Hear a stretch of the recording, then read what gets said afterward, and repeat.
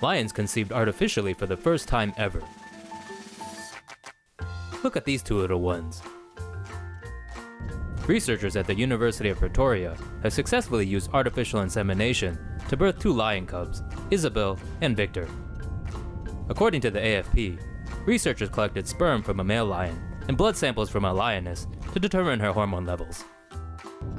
After the blood samples indicated it was the correct time, she was artificially inseminated. In the past, lions would have been moved out of their habitat. Using the new method, the lioness was able to stay in her current environment. Scientists are hoping the new method can be repeated in order to save the wild lion population in Africa, which has been declining over the last two decades. Animal welfare groups, however, argue that lion breeding in South Africa revolves around tourism rather than conservation. Keep watching for more animal stories. You got a friend in me.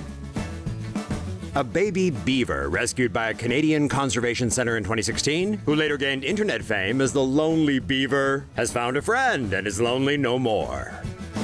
The five week old baby beaver was found alone on a golf course in northwest Calgary with wounds on her tail. The beaver kit was admitted to the Alberta Institute for Wildlife Conservation so it could recover, and that's where she's been since. Oh, isn't she adorable? Noticing the female rodent was all alone, netizens quickly nicknamed her the Lonely Beaver. But it seems things are about to change for the better. Earlier this year, a two year old male beaver was admitted to the Conservation Center after he was found in a storm drain with a bite wound on his lower back. Beavers live better when they have a companion, so the Conservation Center decided to introduce the two to each other.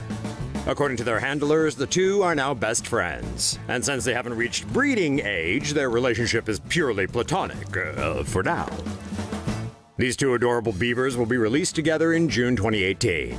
Since caring for wildlife is generally expensive, the Conservation Center has set up a GoFundMe page for the pair's medical costs, which are expected to amount to $23,000. Lioness sprouts majestic mane. Vets at the Oklahoma Zoo were downright baffled after one of their female charges began to grow a very distinctly male feature. After spending 18 normal years as a fierce female, Bridget the African lioness suddenly began sprouting a manly mane that by November had already resembled Santa's beard. Curiously, the luscious locks didn't seem to be contagious and hadn't come with any behavioral changes. Maned lionesses aren't unheard of, but usually the extra testosterone feeding the mane of glory also gives them increased aggression and male mating behaviors. In one case, a lioness named Emma's full mane growth was attributed to testosterone producing ovaries, which then taken out caused the mane to disappear. Bridget's zoo has taken a blood sample to figure out if it's a testosterone issue, though it's also possible she has a benign tumor on the adrenal or pituitary gland. In any case, her handlers aren't too worried since the extra hair doesn't seem to be affecting their big girl's health. Is this humane? An Oregon court ruled that a Southern Oregon couple must silence their incessantly barking dogs by surgically removing their vocal cords. The couple was sued by neighbor Deborah and Dale Crean in 2012 over the noises several of their Tibetan Mastiff dogs were making by barking. The Creans were compensated $238,000 for putting up with the noise, and the judge also ordered that the owners debark their mastiffs. According to the American Veterinary Medical Association, devocalization or debarking requires surgically cutting an animal's vocal cords, which decreases the volume, pitch, and intensity of the animal's bark. The technique is considered a last resort by the Medical Association and is strongly opposed by various animal rights groups in the U.S. The owners told Oregon Live that the dogs were raised to protect their sheep from predators. However, the court ruled that their Tibetan Mastiffs weren't ideally suited to work with livestock and ordered them to debark the dogs or replace them with pooches that were more suitable for the task. The Oregon chapter of the Humane Society of the United States said that there are other ways to discourage a dog from barking, such as with citronella spray and shock collars, or by simply building a visual barrier between the dogs and the neighbor's property. It's unknown whether the couple plans to appeal the decision to the Oregon Supreme Court. Raccoon family shows off its incredible teamwork skills. In the animal kingdom, it's all about teamwork. Video footage uploaded to LiveLeak shows one raccoon family working together to scale a wall. The footage starts out with a mother raccoon trying to push up one of her babies, while another baby is behind her, trying to lend a helping paw. The mother grabs the little guy but loses her grip on the little feller, causing him to drop back down. The baby starts to climb up the wall by itself, and that's when the mother grabs it by the back of the neck and starts to pull the little one up.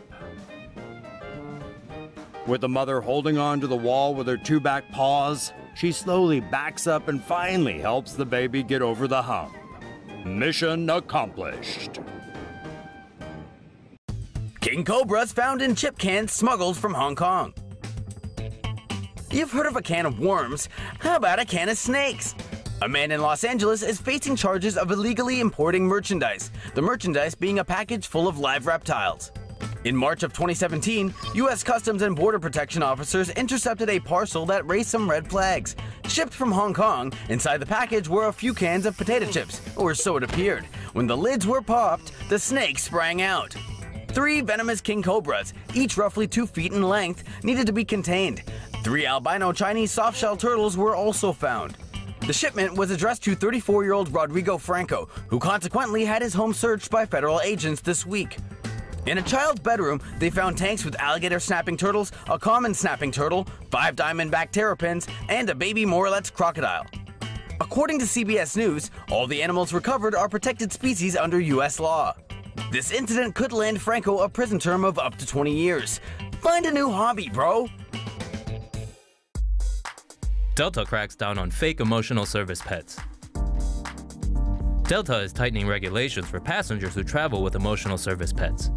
If an airline as crappy as Delta is doing something, it must be a problem.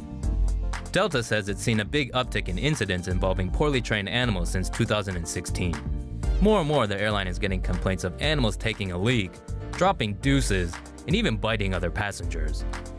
Starting on March 1st, passengers traveling with service pets need to show Delta proof of health or vaccinations for the animal 48 hours before flying. People traveling with emotional or psychological support animals will need a signed note from a doctor confirming that the animal won't go berserk. In the past, Delta said passengers have tried to use turkeys, possums, snakes, and even spiders as support pets.